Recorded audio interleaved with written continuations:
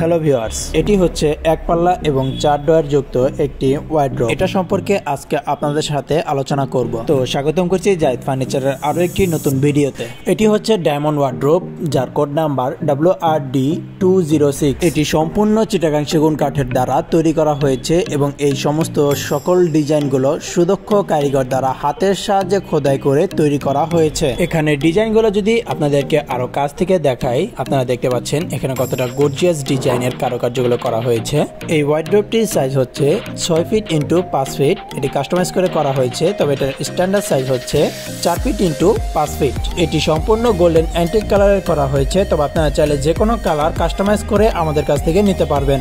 এছাড়াও আমাদের এখানে আরও বিভিন্ন ধরনের প্রোডাক্ট তৈরি করা হয়ে থাকে। আমাদের ফেসবুক পেজে আরও বিভিন্ন ধরনের প্রোডাক্টের ছবি দেওয়া রয়েছে। এছাড়াও আপনাদের মন মতন যে কোনো ধরনের প্রোডাক্ট কাস্টমাইজ করে আমাদের কাছ থেকে নিতে পারবেন।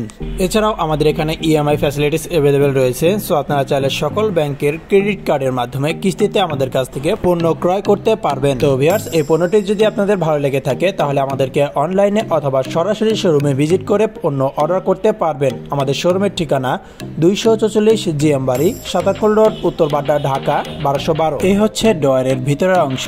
এর ভিতরের অংশে সম্পূর্ণ গামারি কাঠ ব্যবহার করা হয়েছে এবং আউটসাইড সকল কাঠ চিটাগাং সেগুন কাঠের দেওয়া রয়েছে। এবং এটি সম্পূর্ণ লেকার পলিশ করা হয়েছে।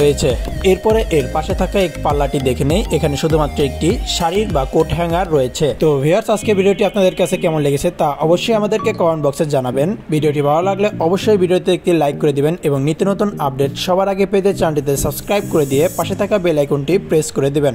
তো আবারও দেখা হবে নতুন একটি পণ্যের রিভিউ নিয়ে। ততদিন পর্যন্ত আপনারা সবাই সুস্থ থাকুন, ভালো থাকুন। এই কামনা করে আজকের ভিডিও শেষ করছি। আল্লাহ হাফেজ।